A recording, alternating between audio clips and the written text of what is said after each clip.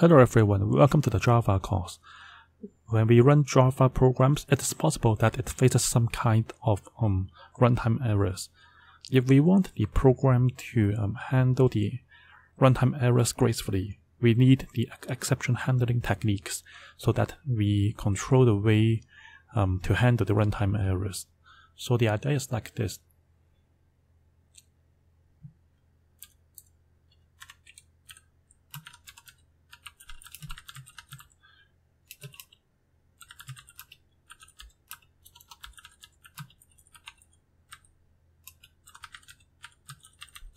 We need to handle the runtime errors gracefully so that the program will, will not come to a halt due to a runtime error.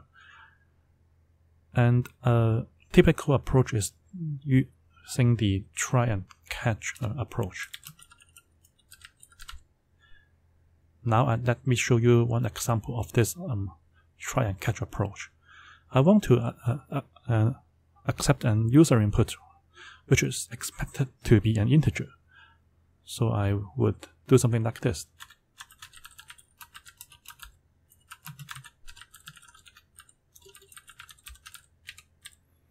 So I need a scan object and I would like to accept user input. That's why the actual parameter of the scan object is system.in.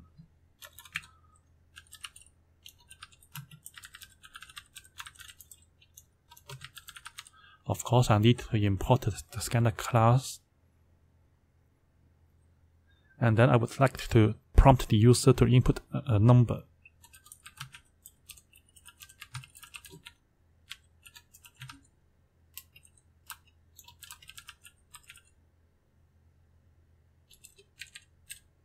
I would like the user to, input an integer.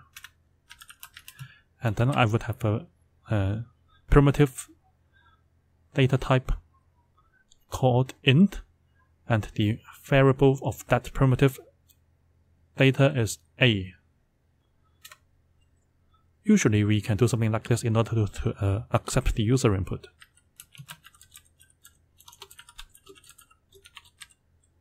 And after accepting the user input, I can print it out.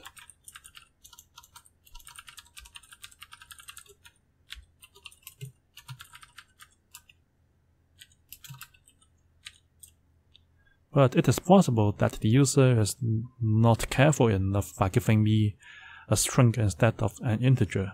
So this next int method can make the program stop due to the runtime error caused by the um, user who gives me a string instead of an integer. So in this case, I need to uh, take this situation carefully by using the try um, approach.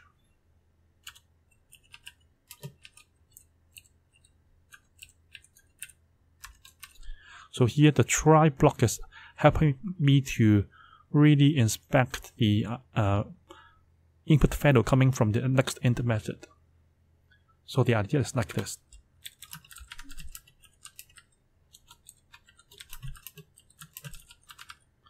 I want to check whether the value of a is really an integer.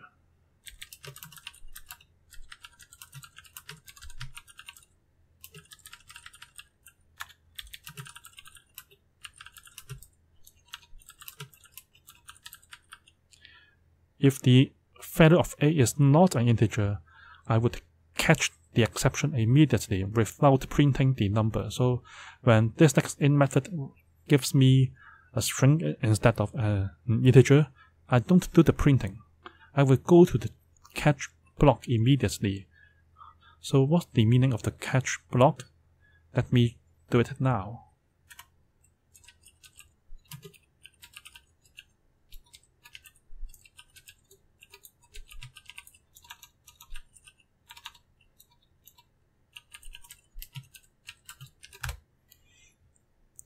In this situation, I would expect an exception called input mismatch exception, and it is a, an exception class in Java.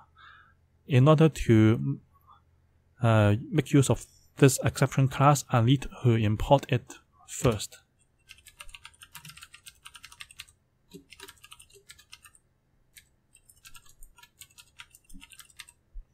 Okay, the exception class is imported. Um, EX here is the um, object reference variable whose um, data type is this exception class. Okay.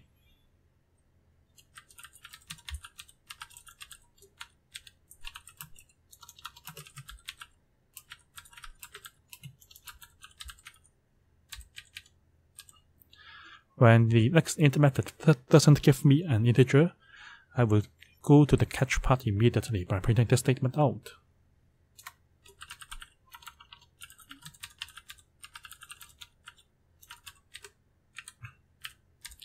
I'm also able to print out the exception um, thrown by the uh, try, uh, the try block. I will show you the exception content later when I uh, go to the catch part later.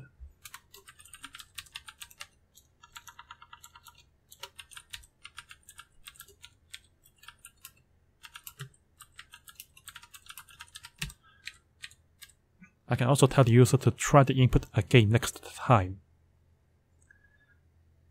And whether or not um, the value given by the next int method is really an integer or not, I can also do the um, remaining um, part of my program.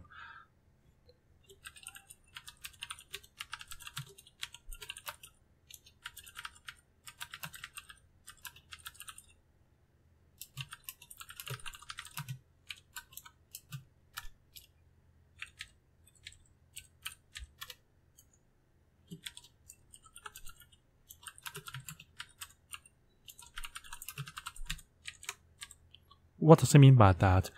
I would like to show you that whether the exception happens or not, the um, code after the try and catch a block will still be executed. Of course, I need to close the scan object after I've used it uh, in my program. So uh, let me try to save it and run it to see the exception uh, situation. Okay, let me input an integer first. For example, I input 9. When I press enter, what will I get? I'm able to print out the um, value because the next int method doesn't throw an exception. Okay. And the number is 9. And after the printing of the number stored in variable A, I'm going to print out the final printing statement shown here, okay? So this is the situation when I input an integer. How about inputting a string instead of an integer? Let me run again to see the effect. For example, I say hello now it is not an integer. So uh, the next int method would um, throw an exception object whose data type is um, input mismatch ex exception. Okay.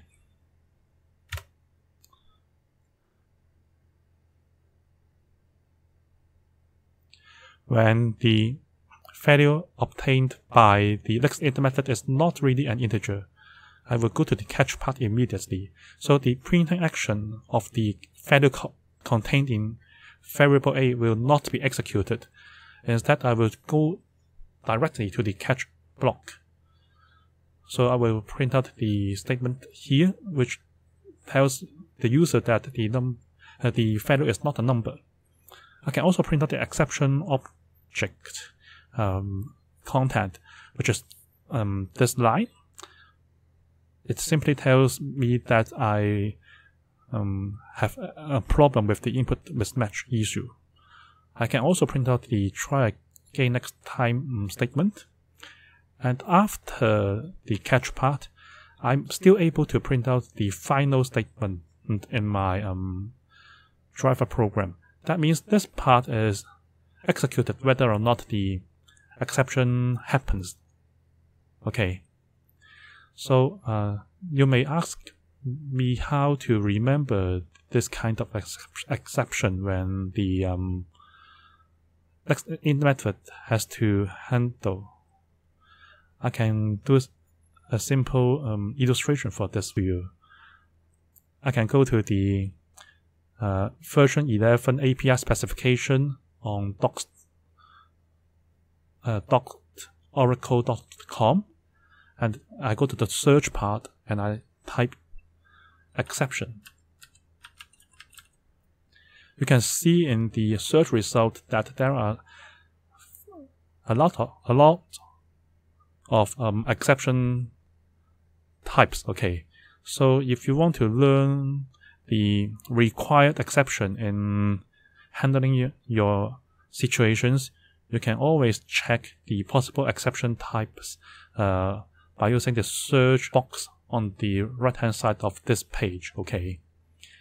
So let me go to the input mismatch type, which is this one.